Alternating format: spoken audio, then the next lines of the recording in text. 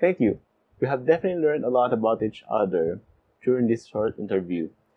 We have already asked all of our questions, and this will be the time for you to ask yours. So, do you have any questions while the hiring manager is here?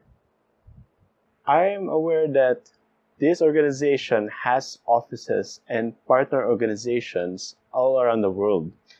Does this mean that employees get a chance to work overseas? Yes.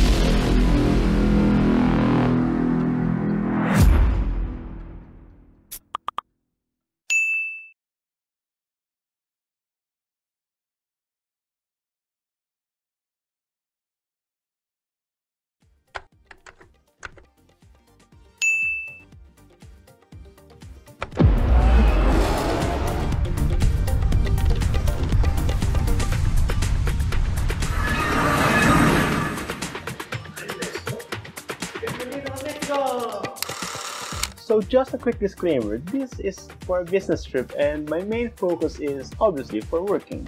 But for this series, we just pretend that work does not exist and I'm on vacation. So if you're my supervisor, please trust me, I'm doing my job. But if you're my viewer, I hope you enjoy!